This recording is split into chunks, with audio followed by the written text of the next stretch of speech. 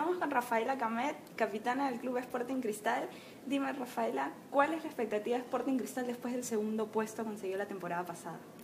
Bueno, em, de hecho, en, en broma decíamos que, bueno, el año pasado quedamos terceras, el año pasado quedamos segundas y este año nos toca primeras, pero sabemos que la liga está súper difícil, súper competitiva por el momento todavía no tenemos el equipo completo porque em, todavía no lo que son los jales extranjeros, que es súper importante para, para alcanzar un, una buena posición, ya que los, muchos equipos con bastante poder económico se traen a muy buenas jugadoras que sí hacen la diferencia, ¿no?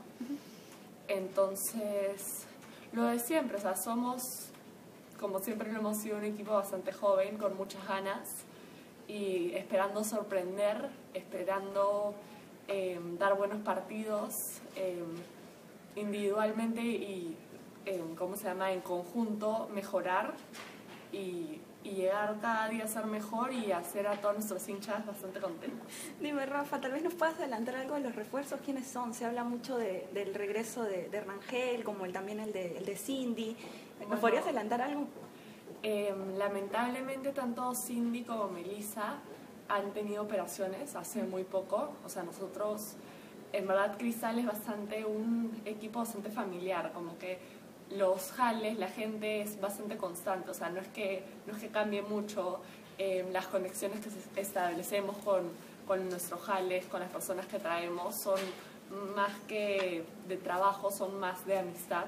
Entonces Melissa, tanto Melissa como Cindy les encantó estar en formar parte de nuestro equipo y querían regresar, sí, y era una, una opción, pero lamentablemente hace muy poco han sido operadas ambas. Melissa por la lesión que tuvo acá en Perú, se le movió un poco el clavo y tuvieron que volver a operarla, y Cindy por un tema de rodillas, bueno, que no sé dónde le habrá pasado, pero lamentablemente no van a poder regresar esta temporada, o al menos ahorita no, quién sabe si al final se animen o ya estarán mejores.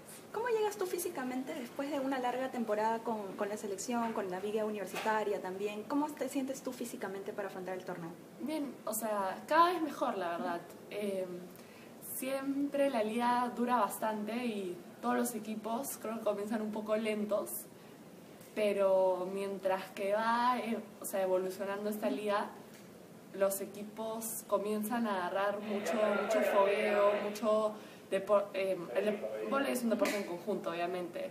Entonces, con los partidos, la experiencia, la práctica, es que en verdad se va cuajando el equipo. Se va cuajando por completo. Entonces, siempre el comienzo de la liga es un poquito a veces aburrido. sí. Pero aparte la fiesta, justo cae con Navidad, Año Nuevo, que si bien es cierto, obviamente igual seguimos entrenando, son como que sí distraen un poco, ¿no? Pero, pero nada, súper bien, súper contentas y como siempre, como te dije, con todos los ánimos. Listo, para finalizar, ¿puedes invitar a toda la gente en general y sobre todo a los hinchas de Sporting Cristal a apoyarlos en el torneo como lo hicieron el año pasado? Sí, claro, eh, gran aliciente. Eh, me invito a toda la gente que, que le gusta el volei o quién sabe, puede hacer un plan divertido, en que vengan a alentarnos en el Coliseo Bonilla y prometemos como siempre dar lo, lo, mejor, lo mejor de nosotras y hacerlos muy, muy contentos. Listo, gracias Rafa.